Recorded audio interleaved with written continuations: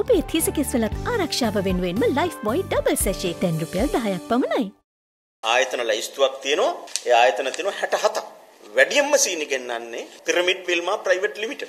ඒ කියන්නේ සජාත් මූසුගේ කම්පැනි. දැන් මේ වාර්තාවෙම කියනවා කස්ටම් ඩිරෙක්ටර් මේ සීනි වල බද්ද අඩු කරන දවසේ රුපියල් 50 725ට අඩු කරන වෙලාවෙත් ස්ටොක් තිබුණයි කියලා විල්මා ආයතනයේ විතරක් මෙට්‍රික් ටොන් 8237ක්. සීනි අවශ්‍යතාවයක් හදිසි පැන නැගිලත් නැහැ. මෙතන තමයි රහස සීනි බදු අඩු කරයි කියලා බදු වංචාවන්. මේ බදු සහනය දුන්න එකට බදු වංචාවන්.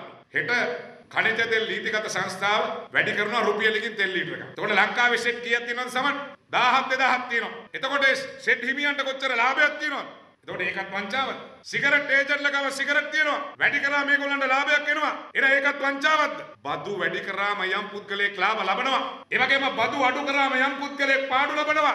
මේ හදන අලුත් බිල්ලෙක්. මේ විල්මා ආයතනයේ සජාත් මවුසුන් තමන්ගේ සීනි සතුසට 124ට විකුණලා රුපියල් 50ක ලාභයක් හැම සීනි කිලෝකින්ම හොයලා තියෙනවා. මුදල් අමාත්‍යාංශයේ ලේකම් තොත්ත බබෙක්. එයා දන්නේ නැහැ එයාගේ ගැසට් නිසා මුදල් ඇමති හැටියට මහින්ද රාජපක්ෂ මහත්තයාගේ ගැසට් නිසා මෙහෙම පිරිසක් ජාවාරමක් කරන විත්තිය ඒගොල්ලෝ දන්නේ නැහැ. යම් කිසි කෙනෙක් මේවයින් අයුතු ලාභයක් ලබනවා කියලා දැනගත්තා නම් ඒ අයගේ account නවත්තලා account freeze කළා ඒ සල්ලි රඳව ගැනීමේ වගකීම ඒගොල්ලන්ට තිබුණා. දැන් මේ මංකොල්ලේ කන්න ඉඩ දීලා ඇඟ බේර ගන්න හදනවා නම් ඒගොල්ලොත් ඒ හොරුන්ගේ කොටසක් කියලා අපිට නිගමනය කරන්න වෙනවා. බදු වංචාවක් කියන එක වැරදි වචනය. යම් කිසි විදිහේ එතන යම් කිසි විදිහේ යම් ප්‍රශ්නයක් තියෙනවා නම් ඒ ප්‍රශ්නේ හැබැයි වංචාවක් කියලා බදු වලින් වංචා කරන්න බෑනේ. බදු වංචා කරන්නේ බදු නොගෑ ඉන්න. ඉතින් ඒක සීනි වංචාවක් කියන එක අපි ඔප්පු කරගන්න ඕනේ. උසාවියට ගිහිල්ලා ඉන්න කණ්ඩායමක් දැන්. උසාවිය තීන්දුව කරයි මේක වංචාවක්ද කියලා. සීනි වංචාව ගත්තට පස්සේ මහ බැංකු වංචාවට දෙවෙනි නෑසා ක්‍රමවේදෙත් දෙකම එකයි. මෙතනත් මොකද උනේ? මෙතනත් උනේ ආ ඔන්න අපි ගැසට් එක වෙනස් කරනවා. උඹගේ එපන් සීනි.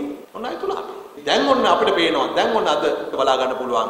මේ හොර සීනි කෑවේ කවුද කියලා. දැන් ඉන්නවා සෙට් එක දත මැදගෙන සීනි වංචාවක් උනේ නෑ කියලා කියන. දැන් විවිධ තර්කෙයි මේ සීනි වංචාව යට යවා ගන්න. මේ සිදු කරපු ජාතික අපරාධය ගැන එවැගේම අහිංසක ජනතාවගේ බදු මුදල් ගසා කෑමට කටයුතු කිරීම ගැන වියත් මගට අත පිහිද ගන්න පුළුවන් කමක් නැහැ. මේ මහ පරිමාණ සීනි බදු වංචාව ගැන සොයා බැලීමට විශේෂ ජනාධිපති කොමිසමක් පත් කරන්න කියලා. ඒ සඳහා පිළිගත් පුද්ගලීන් පත් කිරීමත් ඉතාම අවශ්‍ය කාරණයක්. ඒ වගේම වහම මේ ගැන වෝහාරික විගණනයක් පවත්වන්න කියලත් අපි රජයෙන් ඉල්ලීමක් කරනවා. 2016 තුන්වෙනි මාසේ 8 වෙනිදා සීනි බද්ධ තිබුණා රුපියල් 30ක්. මේක නැවත වරක් 9 වෙනි මාසේ 7 වෙනිදා 725 බවට පත් කරා. 29යි 775ක් බද්ද අඩු කරා. ජනතා විමුක්ති පෙරමුණයි ඔය සමග ජන බලවේගයේ කට්ටියයි දෙගොල්ලෝ එකතු වෙලා ආණ්ඩු කරන කාලේ. ඔය හඳුන්නෙත්ති මහත්තයාට එහෙම තිබුණානේ අධිකරණය යන්න. නීතිය ක්‍රියාත්මක කරාද? ඔහොම බැලුවොත් මේ රටේ ජීවිතේ කවදාවත් බදු මුදල අඩු කරොත් කියයි රජයට බද්දක් අහිමි වුණා කියලා. එවනම් කවදාවත් මේ රටේ බදු අඩු කරන්න වෙන්නේ වැඩි කරන්න වෙන්නේ. ලීව ආයුෂ් කහ සබන් සඳක් වගේ බබලන පිවිතුරු සමකට